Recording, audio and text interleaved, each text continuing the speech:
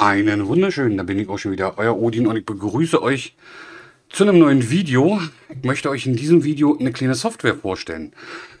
Äh, hier wird auch irgendwo Werbung stehen, weil ich habe einen, einen Schlüssel für dieses Produkt bekommen für, äh, glaube drei Monate oder so, um das zu testen. Und äh, ja, das ist so eine Kindersicherung fürs Handy. Würde ich jetzt mal so sagen ja, doch, Kindersicherung fürs Handy äh, trifft das eigentlich ganz gut. Ich hatte schon mal so eine Software vorgestellt, aber die geht jetzt ein Stück weiter. Die werde ich euch auch gleich zeigen. Das ist die Hauptseite, die werde ich euch unten auch in die Videobeschreibung verlinken. Äh, und das ist dieses hier. Kids äh, Guard äh, Pro for Android. Da haben sie es auch noch für iOS und dann nur für WhatsApp und, und ja. Aber hier bei dem Pro ist äh, WhatsApp auch mit drin. So. Und die Benutzeroberfläche sieht dann am PC so aus. Also ist jetzt nicht so, dass ihr über euer Handy se was sehen könnt, wo euer Kind ist oder irgendwas dergleichen. Das ist halt wirklich, ihr seht es nur am PC. Also ihr müsst dann am PC und auf diese Seite gehen. Also auf eure Dingsseite und dann geht ihr ähm, meine Produkte und äh, nee, dann mein Dashboard oder so und dann seid ihr hier. Und dann seht ihr praktisch äh, die Konto-ID, das ist meine E-Mail-Adresse, Benachrichtigungs-E-Mail, wo die, wenn, wenn ich benachrichtigt werden, werden soll über irgendwas, kommen wir gleich noch dazu, an welche E-Mail-Adresse das geht, welchen Plan ich habe, also äh drei Monate, halbes Jahr, Jahr, äh, Ablaufdatum, äh, automatisch Erneuerung deaktiviert. Also das ist dann halt äh, praktisch nach der Zeit, wenn es abläuft, automatisch wieder aktiviert wird, also verlängert wird und dann halt vom Konto abgebucht wird, ist bei mir deaktiviert. Auf der anderen Seite hier äh, seht ihr dann praktisch äh, die Informationen zum Gerät. Gerätename, warum da, da steht der Name meiner Mutter, da steht Mutti. Ja, aber äh, ich habe da eigentlich schon überall eigentlich Josies drin. Warum da immer noch Mutti steht, ich habe überhaupt keinen Plan. Äh, lustig ist auch mit, mit, dem, mit, dem, mit, der, äh, mit dem Tracken vor Ort. Das muss ich euch auch gleich mal zeigen. Ähm, ja, welches Gerät? Betrieb, äh, Betriebssystem. Ist hier Android 10 drauf. Äh, Ob es gerade online ist. Äh, Wi-Fi ist an. GPS ist an. Batterielevel sehe ich. Und dann halt praktisch die letzten Anrufe, die Top 8 Anrufe und dann halt wie viel Mal. Ja. Da steht na ganz natürlich ganz oben, weil meine Tochter mich ja angerufen hat ganz oft. Von der Schule, von unterwegs, kommt später, komm morgen, komm heute, was weiß ich. Ähm, mit der Ortskennung, also das Handy befindet sich gerade im, im WLAN-Netz hier zu Hause. Laut äh, diesem sind wir hier irgendwo bei Duisburg. Äh, ich zeige euch das mal. Hier ist Oberhausen. Ne, Duisburger Straße war das. So, und wir sind hier. Äh, was ist denn das für ein Ort? Ist das, ist das noch Oberhausen? Ich glaube, das ist noch so ja Oberhausen. Also wir sind gerade in Oberhausen. Äh, hier hinten irgendwo bei Marxloh. Hier sind wir irgendwo. Sind wir nicht. Also ich bin bei Berlin, aber da bin ich definitiv nicht. Ganz lustig. So. Aber dann haben wir hier auf der rechten Seite, äh, auf der linken Seite haben wir dann die ganzen Kategorien. Wir haben, so, also kann man jetzt auch einklappen hier. So ist es, wenn es eingeklappt ist. So, Dashboard allgemein. Dann haben wir Telefondaten. Da haben wir Anrufliste. Da sehen wir dann halt, wer wen, wer wen wie lange angerufen hat. Also ob äh, das Kind halt einen Anruf gekriegt hat und wie lange. Äh, oder ob das Kind jemand angerufen hat und wie lange. Dann sehen wir halt die Namen, wie im Telefonbuch eingespeichert sind. Wir sehen die Nummern. Wir sehen auch hier ausgehend, eingehend und hier haben wir dann die Zeit, wie lange und hier Datum und nochmal Uhrzeit. Wann das genau gemacht wurde und wie viel Uhr. So, dann sehen wir hier die Mitteilungen. Das ich natürlich alles pixeln, also ist ja klar. Ähm so, hier haben wir die Kontakte, da kann man sehen, welche Kontakte das Kind gespeichert hat. Dann haben wir den Browserverlauf. Äh, ja, sie, achso, sie hat ja gar keinen Browser drauf, also von daher ist das halt leer, nicht wundern. Dann haben wir Fotos, da gehe ich jetzt nicht rein. Da haben wir dann die WhatsApp-Fotos, wenn sie selber Fotos macht oder Downloads. Ne? So, Videovorschau, da haben wir dann halt Videos drin. Da gehen wir aber ganz schnell weg. Äh, das sind halt sie und ihre Freundinnen und hast du gesehen. So, und dann haben wir App-Aktivität. Da haben wir jetzt momentan keine. So, Keylogger. Das sind ähm, Wörter, die ich. Nee. Ach nee, hier sind wir noch nicht bei den Wörtern. App Launcher, App Launch, App, ja, Anwendungen. Keine Ergebnisse. So, Kalender. Da haben wir hier auch noch den Kalender, was hier eingetragen ist. Hier sind auch noch Sachen drin, wo das mit meinem Profil noch verknüpft war. Irgendwie ganz komisch. Äh, also nicht, ich meine das Telefon von meiner Tochter, ja. Da war mal so ein kleiner Fehler drauf, dass halt äh, die Google Security-Dings da, diese Kinderdings, dass der äh, aus meinem und ihrem Konto eins gemacht hatte und dass meine Telefonkontakte dann halt bei ihr waren und da hieß Oma dann bei ihr Mutti und umgedreht und hast nicht gesehen, ganz komisch. Ähm, da, deswegen hat sie hier noch was drin. Äh, ja, da müsste man das dann auch mal löschen. So, dann haben wir hier Standort. Hier sehen wir den Standort und wir können auch alle anderen Standorte abrufen. Mit, und dann sehen wir auch hier die Uhrzeit, wann da getrackt wurde. Ja, wenn ich dann hier raufgehe, dann sehe ich das halt. Also hier sind natürlich auch noch andere Standorte. So. Hier kann man dann auch noch bestimmte Bereiche äh, markieren, wenn es da hingeht, das Kind. Start. Kann man dann halt sagen, äh, wenn du da hingehst, äh, hier hingehst, so, äh, diesen Bereich, so, dann möchte ich halt äh, benachrichtigt werden. Ja, E-Mail-Benachrichtigungssicherung. Wenn ein Kind halt da hingeht, kriege ich eine E-Mail-Benachrichtigung. Wenn man halt bestimmte Ecken hat, wo jetzt, was weiß ich, wo man weiß, da wird nur Scheiße gebaut, da soll das Kind nicht hin, dann zack, und dann kriegst du halt eine Benachrichtigung, dann rufst du an, was machst du in der Ecke? So. Wi-Fi-Logger, dann sieht man halt, in welchen Wi-Fi-Netzen das äh, Handy drin war. Ja, also halt bei mir und bei meiner Mutter. Äh, das war, glaube ich, Schule, im Jugendclub. Ja, hier auch wieder Jugendclub. Da gammelt sie ja dann oft rum mit ihren Leuten. So, können wir das ausschließen. So, dann haben wir hier soziale Netzwerke, Line, Viper, Telegram. Das hat sie alles gar nicht drauf. Instagram hat sie auch nicht drauf. Also kann ich euch jetzt zeigen, das leer. Aber bei WhatsApp, da sehen wir dann halt praktisch die WhatsApp-Nachrichten. Und dann werden bei bestimmten Sachen werden Fotos gemacht. Wenn bestimmte Wörter auftauchen, zum Beispiel.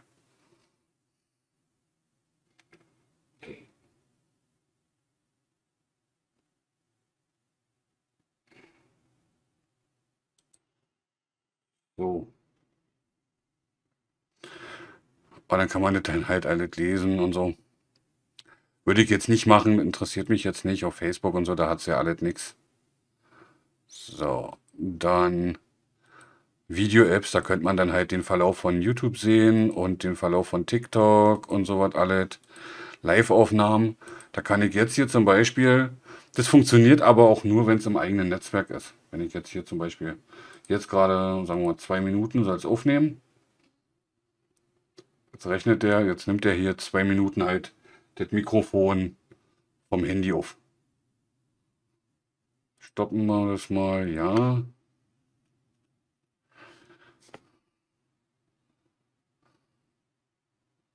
So, 1936. Ne, wir haben 20 noch was. Das ist das hier. Wenn wir das jetzt Play machen.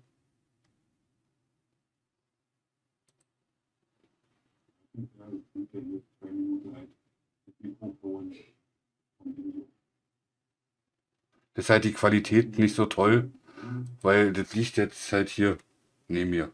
Also nicht vor mir, sondern neben mir. Ja. Dann Anruf aufzeichnen. Wenn Sie jetzt gerade anruft, könnte man auch den Anruf aufzeichnen. Da geht dann schon ein bisschen sehr weit. So, ein Screenshot kann man machen. Ne, das Bild aufzeichnen. Wartet mal, da zeige ich euch. Also, wenn die Kamera natürlich gerade äh, auf dem Bauch liegt, äh, aufzeichnen. Äh, wenn die Kamera natürlich gerade auf dem Bauch liegt, dann äh, ist halt... Achso.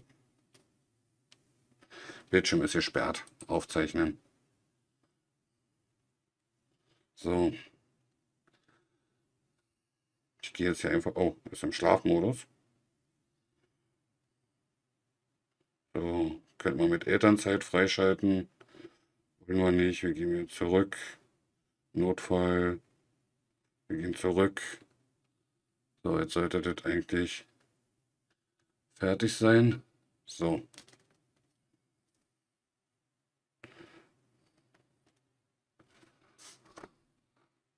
Und wenn wir das jetzt hier starten,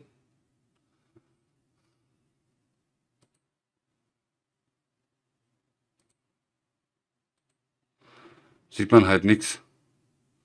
Weil die Zeit, doch da.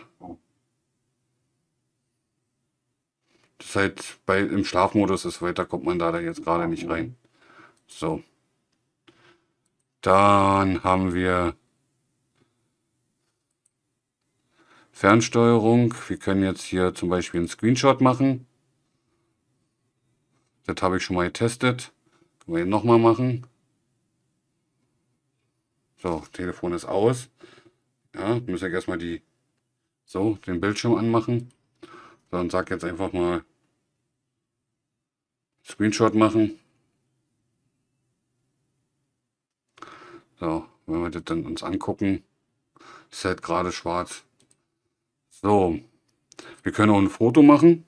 Das weiß ich aber nicht, ob das jetzt hier funktioniert. Äh, ne, funktioniert nicht.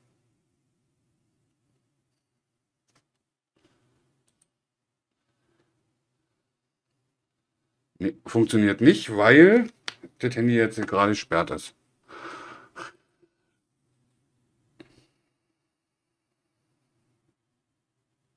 Aber ich habe schon mal ein Testbild gemacht, dass ihr das sehen könnt.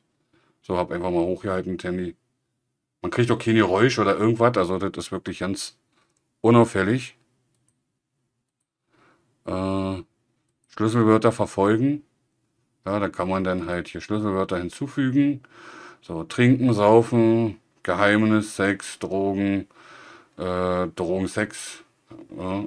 Und dann kann man dann halt entfernen oder halt noch Wörter dazu schreiben. Ähm, nehmen wir mal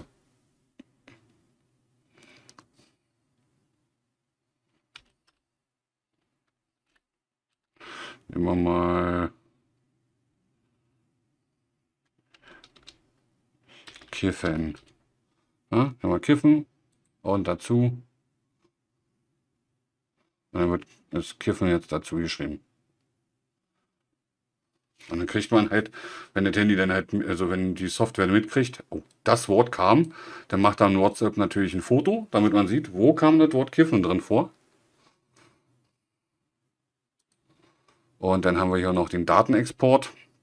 Dann können wir halt alles, die Anrufliste, Mitteilungen, Kontakte, wir können alles, äh, den Wi-Fi-Logger, alles, alle Daten, die, die wir hier auslesen können, TikTok, äh, Geschichte angesehen, also auch die angesehenen, kann man hier alles sichern und dann Export machen als äh, CSV-Datei. Ja, und hier ist dann nochmal Berechtigung. Da sieht man hier, was jetzt gerade alles an ist. SMS lesen, Kalender, alles. Dann sieht man auch hier, wo das alles ist.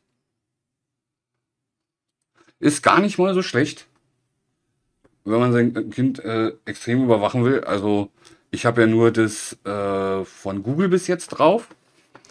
Ähm, wie heißt denn das Ding jetzt wieder? Habe ich auf meinem Handy und auf ihrem Handy. Äh, Family Link, das ist von Google so eine Software.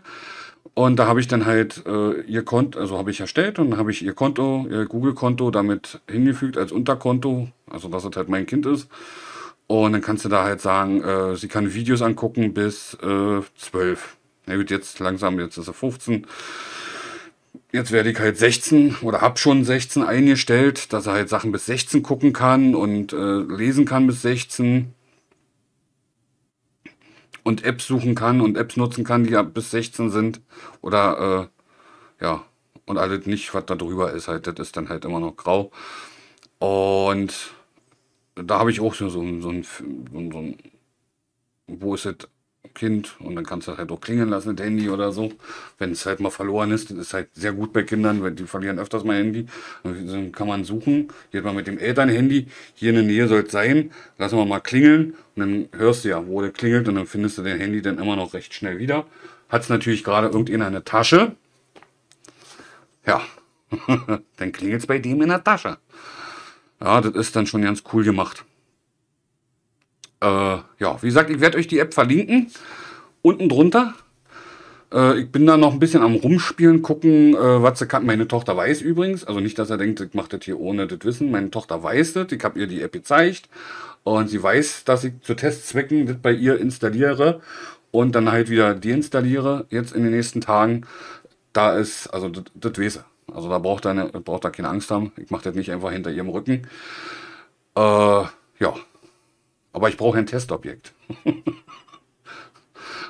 Und ja, dann würde ich mich jetzt hier verabschieden. Ich hoffe, hat euch gefallen. Wenn es euch gefallen hat, Däumchen werden, Träumchen. Wenn ihr noch Fragen habt, in die Kommentare posten. Ich werde mein Bestmögliches tun, euch die Fragen beantworten zu können. Ich bin hier noch ein bisschen am Testen mit Josie auch. Wir schreiben uns es hört sich jetzt bescheuert an, aber wir schreiben uns, äh, äh, wollen heute, wollen wir das mit den, mit den, nee, morgen wollen wir das, heute haben wir es nicht mehr geschafft, weil wir bei Oma waren, wollen wir das testen mit dieser Worterkennung und sie schreibt mir dann einfach mal, also mein Handy ist ja nicht registriert hier, ist ja nur ihr Handy und ihr Handy wird überwacht. Ähm, und sie schreibt mir dann einfach mal so Wörter, die wir da, sie hat die Liste sich auch abgeschrieben, was für Wörter da drin stehen. Dann schreibt sie mal heute Abend Drogen nehmen und dann kommen ein paar normale Nachrichten oder nur ein paar Buchstaben und dann einfach mal nur Saufen schreiben oder so. Und dann mal gucken, inwiefern das funktioniert. Also wir haben es jetzt schon einmal versucht, aber leider, ich musste die Software jetzt neu machen, sind die Fotos dann nicht mehr drauf gewesen, weil die hat, eine, hat ein Update gekriegt, die, das ist eine Android-App, aber die ist auch hier installiert auf ihrem Handy. Aber um die zu aktualisieren, musst du die alte runterschmeißen, um die neue zu installieren. Die kannst du nicht einfach so updaten. Und dann kannst du doch so einstellen, also du kannst es so machen, dass er halt offensichtlich ist und du kannst so machen, dass er halt nicht offensichtlich ist. Dann kriegst du, kriegst du keine Benachrichtigung auf dem Bildschirm, dass die App läuft. Du siehst doch nicht, was die App gerade im Hintergrund macht. Das ist alles ausgeschalten. Ja, und da sind wir dann, wir beide gerade noch ein bisschen am Testen. Findet so ganz lustig. Äh, ja, aber nichtsdestotrotz soll es jetzt gewesen sein.